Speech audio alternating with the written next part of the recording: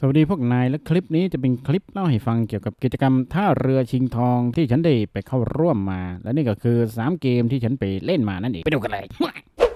เอาละตาแรกเริ่มมาแล้วก็เกิดบริเวณลงรถด้านหลังของโมเตลและตัดสินใจที่จะวิ่งไปยังจตุรัสในที่สุดแล้วก็วิ่งลงมาถึงทางจุดศูนย์กลางที่เรียกได้ว่า เป็นศูนย์รวมความบันเทิงนั่นก็คือบริเวณถนนชอวินที่ใกล้กับทางออกท่อระบายน้ำนั่นเอง แน่นอนพอถึงที่นี่แล้วเราก็ติดแงกอยู่ในบ้านหลังหนึ่ง ซึ่งมีศัตรูต้องการจ้องจะเล่นงานเราอยู่ข้างนอกนั่นทำให้เราต้องติดแงกอยู่ตรงนี้เป็นเวลาสักพักเลยทีเดียว และจากการที่ข้าศึกติดพันแล้วก็โดนลุมล้อมกระหน่ำอย่างไม่บรรยะบรรยังทำให้เราใช้เวลาอยู่ที่นี่เกือบทั้งเกมเลยทีเดียว นี่ไงศัตรูมาแล้ว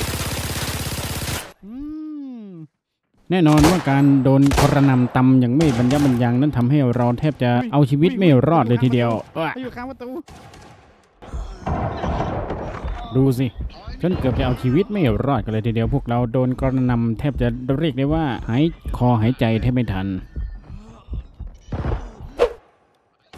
แต่เนื่องด้วยพวกเรานั้นมีทีมเวิร์กที่ค่อนข้างที่จะแข็งแกร่งทำให้ศัตรูนั้นยากที่จะต่อกรกับเราแล้วเราก็สามารถตรึงกำลังแข็งเอาไว้เพื่อที่ต้านทานกับพวกเขาจนในที่สุดนั้น พวกเราก็ได้รับชัยชนะในศึกครั้งนี้ แต่กว่าที่เราจะขยับสะโพกโยกสะเอวออกมาจากสถานที่นั้นได้แล้ว เวลาก็แทบจะหมดลงไปแล้ว เราทำได้เพียงแค่เก็บกวาดกับซากแห้งของศัตรูที่อยู่บริเวณใกล้ ๆ นั้น เสร็จแล้วเราก็เอาตัวของเรายัดลงไปในหลุมท่อระบายน้ำเพื่อที่จะถอนกำลังออกจากเกมนี้ แน่นอนว่าผลประกอบการของเราไม่ค่อยดีสักเท่าไหร่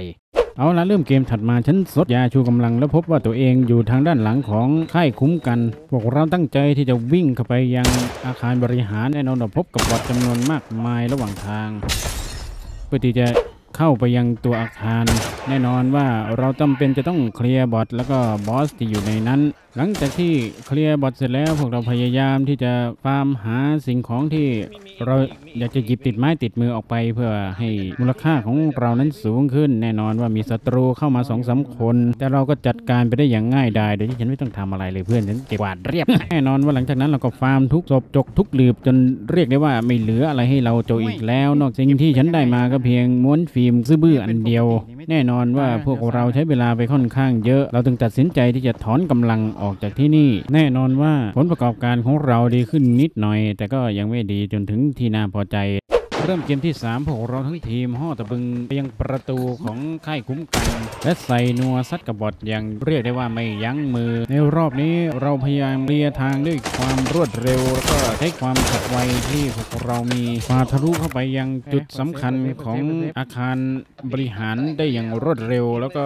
พยายามที่จะฟาร์มจบทุกอย่างทุกห้องสืบทุกหลืบทุกซอก แต่ถึงกันนั้นแล้วความเกลือก็ยังสถิตอยู่กับเราไม่ไปไหน เนี่ยจะเป็นเหตุผลที่ว่าแผนที่นี้อยู่ใกล้ชายทะเลก็เป็นได้ จึงทำให้มันเค็มเหลือเกิน พวกเราจึงตัดสินใจที่จะถอนกำลังออกจากการเล่นครั้งนี้ แน่นอนว่ามีศัตรูที่คอยดัก เราอยู่ตลอดเวลาทำให้การถอนกำลังของเรานั้น แน่นอนว่าตอนนี้เราตัดสินใจที่จะมุดรูท่อตรงนี้ออกไป แต่มีศัตรูอยู่ข้างในที่ดักคอยพวกเราอยู่ เราจึงตัดสินใจบุกทะลวงยัดเข้าไปในรูท่อนั้น เพื่อที่จะทำการจัดการศัตรู แต่แน่นอนว่ามีเพื่อนของเราคนหนึ่งนั้นสิ้นอายุไขไปต่อหน้าต่อตา เนื่องจากระเบิดของพวกเดียวกัน หลังจากที่เราเข้ามาด้านในได้แล้ว